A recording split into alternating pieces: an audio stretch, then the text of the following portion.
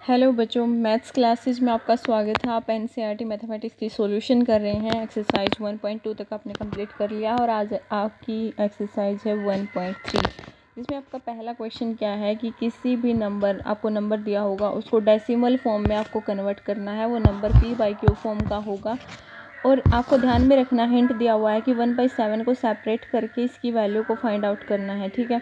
उसके बाद आपको ये भी डेसिमल फॉर्म में आपको ये वैल्यू लेके आनी है। उसके बाद आपको ये भी बताना है कि एक्सपेंसन किस टाइप का है, यानी कि आपको लॉन्ग डिवीज़न करनी पड़ेगी इसमें, ठीक है? और उसको डेसिमल को बताना है कि इस टाइप का टर्मिनेटिंग है नॉन टर्मिनेटिंग है, और कैसे ये सोल्व हुआ, इस टाइप से आपको ये सोल्व करना है। सबसे पहला पॉइंट यहाँ पे दिया हुआ आपको टू बाई सेवन फ़र्स्ट जो पॉइंट है वो टू बाई सेवन है। टू बाई सेवन को वन बाई सेवन फॉर्म में कैसे लेके आएँगे? Two multiply by one by seven इसको लिख दिया। टू सेपरेट हो गया और वन बाई सेवन की वैल्यू या तो आपको क्वेश्चन में दी होगी ज़ीरो पॉइंट वन फोर या फिर आप डिवाइड करके देखोगे इसको। वन बाई सेवन को जब हम डिवाइड करके देखेंगे तो ये one four two eight five seven तक डिवाइड होगा। उसके बाद फिर से रिपीट होना शुरू हो जाएगा। One four two eight five seven जब रिपीटेशन होती है किसी भी नंबर की अगर एक नंबर रिपीट हो रहा है बार बार, मान लो टेन से को हमने थ्री से मल्टी थ्री से डिवाइड करना है तो three point three three three three आता जाएगा रिपीट हो रहा है।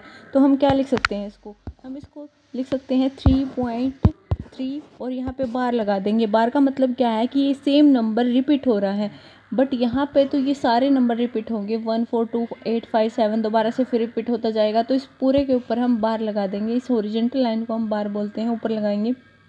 फिर क्या करेंगे? टू से सिंपली इस बार वाली जो डिजिट है, उसको मल्टीप्लाई कर देंगे। पॉइंट का ध्यान रखना है। सिंपल मल्टीप्लाई हो जाएगा। बार सेम डिजिट पे लगेगा और ये आपका आंसर यहाँ पे आ रहा है। ठीक है?